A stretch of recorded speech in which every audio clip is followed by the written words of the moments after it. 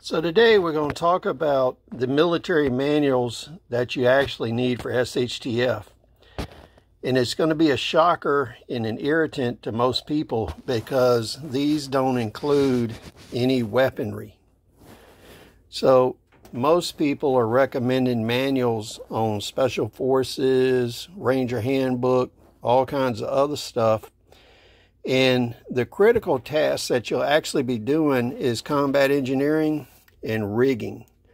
So this one is field manual FM5-12B is in Bravo 3. Now the 3 here is skill level 3. On this particular manual, there is skill level 1 and 2. This particular one is skill level 3, which is intermediate supervisory, so this would be a sergeant actually directing people with skill levels one and two. There is another version of this called skill level four, which is even more thorough than this one. Now, this is critical because it gives you a lot of information on demolition. If you have access to explosives through construction or mining operations, this is a very complete guide on how to use explosives for demolition work. Now, for our purposes, it is a very good manual for how to build things. It gives a lot of detailed drawings.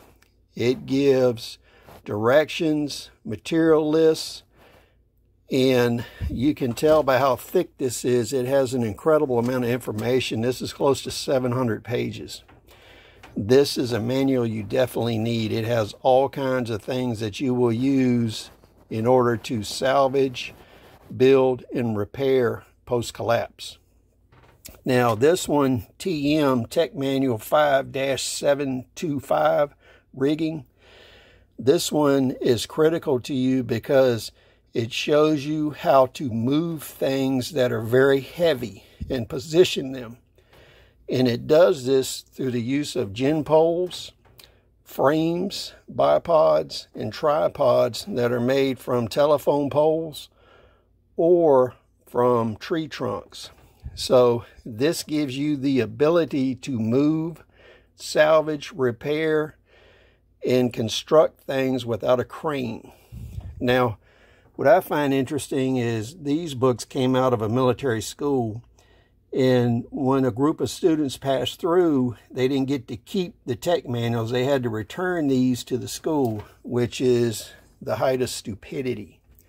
So it just goes to show you how money could have been well spent instead of on other things. So I would have thought you would have took all the manuals with you after you had the class, but it is not like that. Now, I want to reiterate that weapons based manuals are not the most important in SHTF because in reality, most people are not going to use those weapons.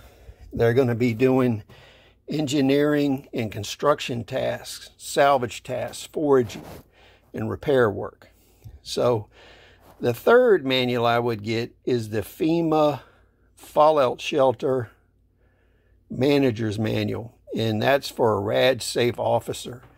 That would give you complete information and lessons on how to use RAD meters, how to detect and form a plan on how to protect people in a radiation environment.